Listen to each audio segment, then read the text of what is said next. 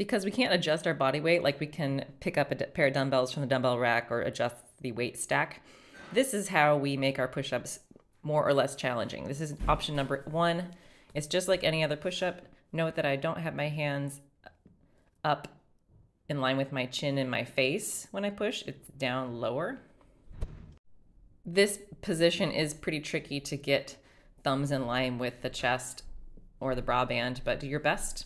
Next option is elevating your hands less, so to a countertop, a chair, a ottoman. The options are endless.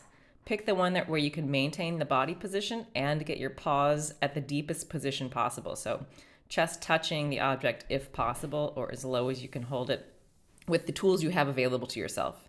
Next option is heading to the floor, kickstanding the way up and keeping your knees off the floor on the way down. Next option is just with the hands flat on the floor. Everything else is the same. And finally, this setup will put just a little more body weight over the hands. I like to elevate my hands to blocks so I don't hit my nose on the floor on the way. And you're still executing the same standards. Back pockets tucked under, knees are soft, and you're getting your chest as low as you can. This is a, one demonstration of what not to do. No banana backs, please. That feels bad. All right, get